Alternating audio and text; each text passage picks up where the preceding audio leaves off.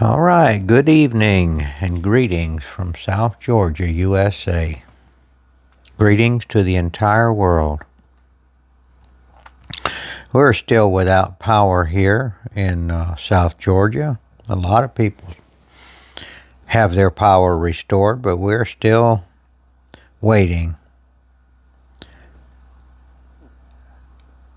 We're actually some benefits of this because we're having able to spend more time without television and without uh, the distractions of the modern world and uh, are spending more time with God, reading the Word and thinking about what it means to be a believer in Jesus, Yeshua HaMashiach, the Savior of the world.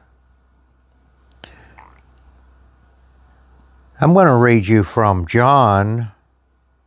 I'll start in John 14. It's quite a riddle what Jesus is saying. And it's up to us to ponder on this and try to figure out what he means.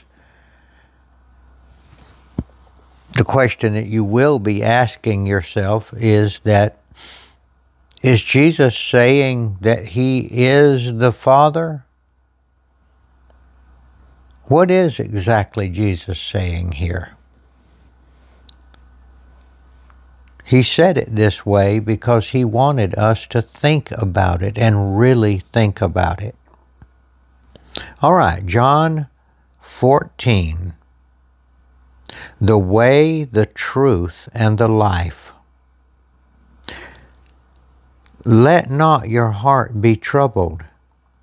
You believe in God, believe also in me. In my Father's house are many mansions. If it were not so, I would have told you. I go to prepare a place for you. And if I go and prepare a place for you, I will come again and receive you to myself. I will come again and receive you to myself, that where I am, there you may be also. And where I go, you know, and the way you know. Thomas said to him, Lord, we do not know where you are going, and how can we know the way?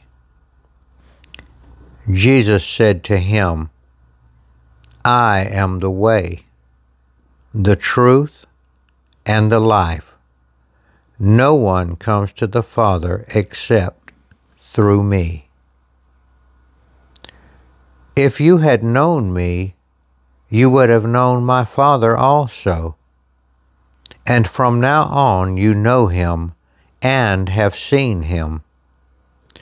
Philip said to him, Lord, show us the Father, and it is sufficient for us. Jesus said to him, Have I been with you so long, and yet you have not known me, Philip? He who has seen me has seen the Father. So how can you say, Show us the Father? Do you not believe that I am in the Father and the Father in me? The words that I speak to you, I do not speak on my own authority, but the Father who dwells in me does the works. Believe me that I am in the Father and the Father in me or else believe me for the sake of the works themselves.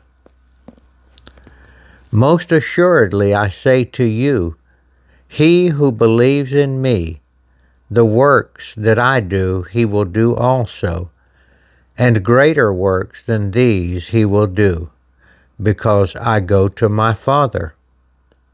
And whatever you ask in my name, that I will do, that the Father may be glorified in the Son. If you ask anything in my name, I will do it. I'm going to stop right there because that's enough to ponder on. People have been pondering on this for centuries to try to figure out what Jesus was meaning. It is a, a riddle. It is hard. He seems to be saying one thing and then another thing. In my opinion, he's doing that because he wants us to really think about it. He wants us to ask him. Listen to this. If you ask anything in my name, I will do it. Well, I'm going to ask something right now. Jesus, would you explain to me what this means? That you're saying you are the Father? And yet you don't speak on your own authority?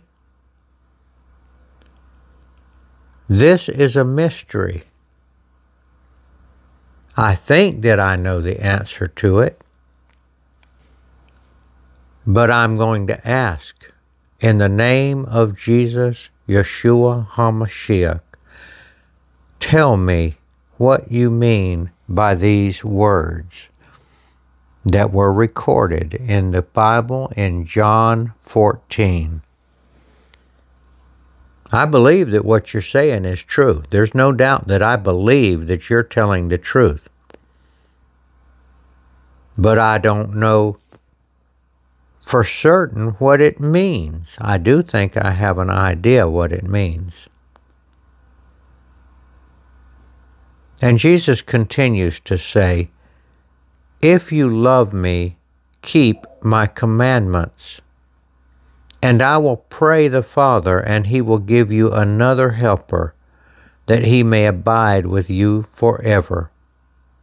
The Spirit of truth, whom the world cannot receive, because it neither sees him nor knows him.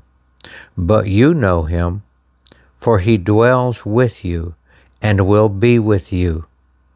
I will not leave you orphans. I will come to you. All right, I'm going to leave it right there. That is enough. I don't know how many essays and books and sermons could be written and preached on this one little section of John. Now I'm going to tell you what I think it means right now. I'm not positive that I know what it means, but I am asking in the name of Jesus and for the Holy Spirit to give me a lesson in this John 14. All right. I'll try to upload this. I've been having some trouble with that.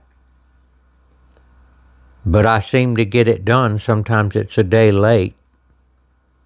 So I enjoyed reading the Bible to you out there. And I trust and I pray that these sessions will help some people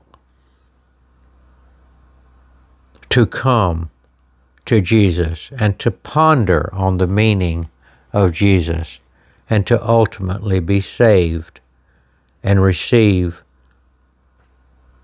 a born again status or be created again as a new creature in Christ and ultimately receive eternal life. All right, this is Gardner Israel signing off.